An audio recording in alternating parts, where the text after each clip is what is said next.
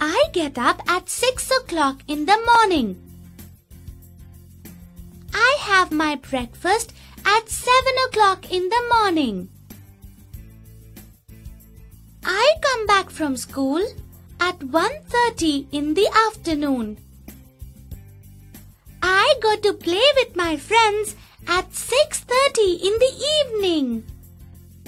I go to sleep at 10 o'clock at night.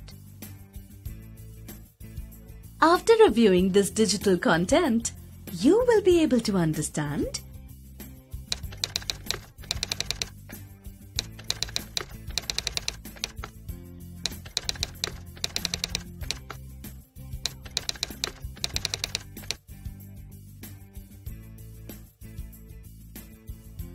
Look at the clock. The numbers 1 to 12 are marked at equal distances. The long hand in the clock is called minute hand. The short hand in the clock is called hour hand. Between every number on the clock, there are 5 small units. There are total 60 small units. When a minute hand completes one round, it moves through these 60 small units. The minute hand takes one hour to complete these 60 units. Each unit is equal to one minute. One hour is equal to 60 minutes. Look at the clock. How many minutes will the minute hand take to move from 1 to 2? 5. Right. Look at the clock. How many minutes will the minute hand take to move from 12 to 4?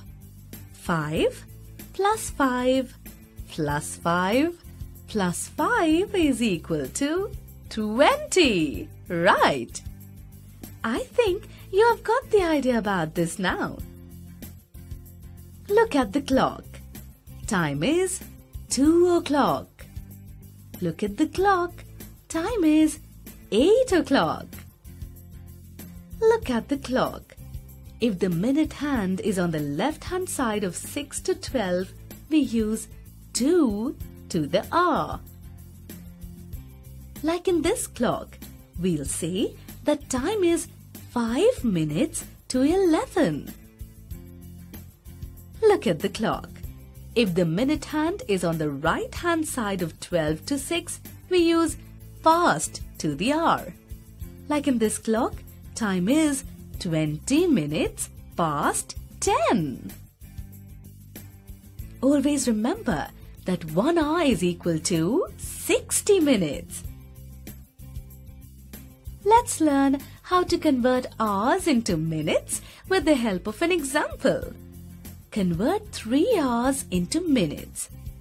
1 hour is equal to 60 minutes 3 hours is equal to 3 multiplied by 60 is equal to 180 minutes.